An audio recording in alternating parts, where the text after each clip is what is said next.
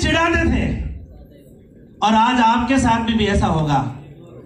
क्योंकि जब आप किसी को जाकर आप बोलोगे मैं महीने के लाखों रुपया महीना कमाऊँगा तो वो आपकी तरफ़ देखेगा। जब आप उनको बोलोगे कि मैं दस लाख की कार परचेज करने वाला हूँ तो वो आपकी तरह हंसेगा। हेलो? हँसते हेलो लेकिन मैं रुका नहीं था क्योंकि मैं जानता था कि भगवान हर आदमी को अवसर देता है ज़िंदगी में आगे बढ़ने के लिए। चाहे वो गरीब हो, चाहे वो अमीर हो, हर आदमी को भगवान एक बार अवसर देता आगे बढ़ने के लिए, और वो अवसर मुझे मिला था। क्योंकि मैं जानता था कि नाकामयाबी आपके दरवाजे पर तब तक खड़ी रहती है। जब तक आप दरवाज़ा नहीं खोलते और कामयाबी आपके दरवाजे पर कभी कभी आती है, जिस दिन आपने कामयाबी आपके दरवाजे पे आए, वो अवसर आपको मिले, उसका आपने वेलकम कर लिया आपने ज़िंदगी में तो आपकी भी ज़िंदगी बदल सकती है। और आज वो अवसर आपके सामने है। वो अवसर मुझे भी मिला था। मुझे भी बहुत सारे चैलेंज आए थे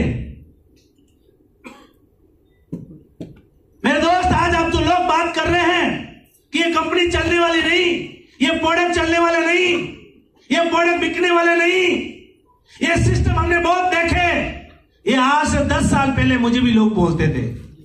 और आज आपको भी बोल रहे हैं? बोल रहे हैं? और आज से आने वाले दस साल के बाद में भी लोग बोलेंगे ये कंपनी चलने वाली नहीं। जब छत्तीसगढ़ के अंदर पहली बार हमने बिज़नेस शुरू किया था तो पाँच सौ रुपए की सेल थी। कितनी सर पाँच सौ रुपए की सेल थी। और अब महीने की तीन करोड़ की सेल है। उसके बाद हेलो तीन करोड़ की सेल जब पाँच सौ रुपए की सेल थी, तभी लोगों ने बोला कि ये प्रोडक्ट बिकने वाले नहीं ये सिस्टम चलने वाला नहीं है। और आज तीन करोड़ की सेल हो गई। तभी लोग क्या बोल रहे हैं? ये चलने वाला मैं बता दू दोस्त, अभी तो एक शुरुआत हुआ है। 2025 के अंदर जब छत्तीसगढ़ का 300 करोड़ की सेल होगी, उस दिन ये लोग बोलेंगे कंपनी नहीं चलेगी। लेकिन लोगों का काम है बोलना, हमारा काम है करना।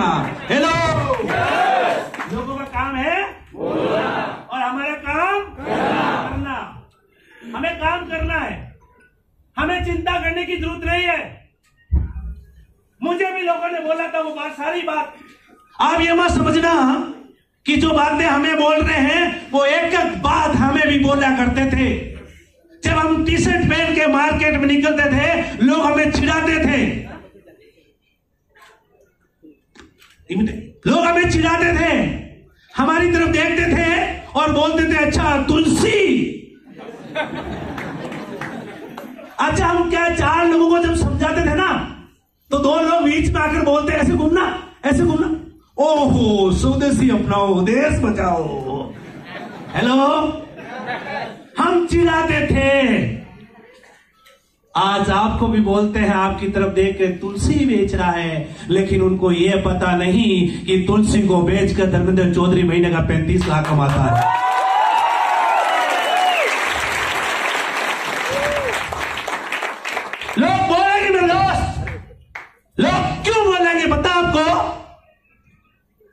लोगों को बोलता था कि मैं ओडी गाड़ी परचेज करूँगा और मैं बस में चलता तो लोगों का काम है बोलना।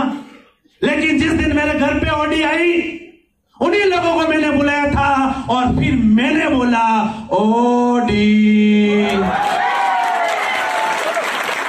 अच्छा उन्होंने क्या बोला बता आपको? उन्होंने क्या बोला बता आपको बता दूँ? उन्होंने बोला, धर्मेंद्र, हम पहले ही जानते तो बड़ा काम करेगा आज मैं उनका अपना सपना दिखाता हूँ। आज मैं अपने उनका सपना दिखाता हूँ कि 2025 में मैं अपना पर्सनल चार्टर्ड प्लान खरीदने वाला हूँ। हेलीकॉप्टर खरीदने वाला हूँ तो वो क्या बोलते मुझे पता है? तू खरीद सकता है। हेलो क्या बोल सकते हैं, क्या बोल रहे हैं? तू खरीद सकता अब एक बात मुझे समझ में नहीं आती। कि जब सात लाख की गाड़ी के लिए मुझे लोग बोलते थे तो कुछ नहीं कर सकता तो खरीद नहीं सकता। और जब 25 करोड़ का हेलीकॉप्टर खरीदने जा रहा हूँ तो बोलता है तो खरीद सकता है। ऐसा क्यों? ऐसा इसलिए मेरे दोस्त, लोग आपको इसलिए बोलते हैं क्योंकि उससे पहले कोई आपने बड़ा काम किया और जब आप बड़ा काम करने जाते हो तो हर कोई बोलता है, मेरे दोस्त, एक बात दिमाग में सेट कर लेना। यदि ज़िंदगी में कामयाब होना चाहते हो यदि ज़िंदगी में आगे बढ़ना चाहते हो तो लोग क्या बोल रहे हैं? लोग क्या कह रहे हैं? इस बात से कोई मतलब नहीं मेरे दोस्त। इस बात से कोई मतलब नहीं आपको।